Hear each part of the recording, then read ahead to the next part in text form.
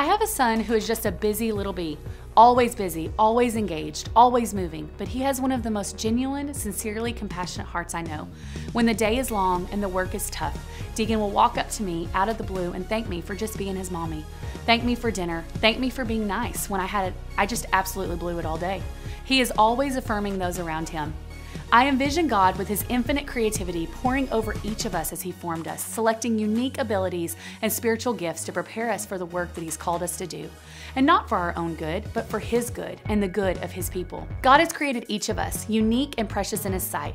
He has given us spiritual gifts to help work in unity with those around us to expand his kingdom. God wants us to live a life on purpose for his purpose. He wants us to use these gifts to care for the sick, to help love on our neighbors, to be a light in this dim world. He has equipped you with a purpose and for a calling. You are a masterpiece.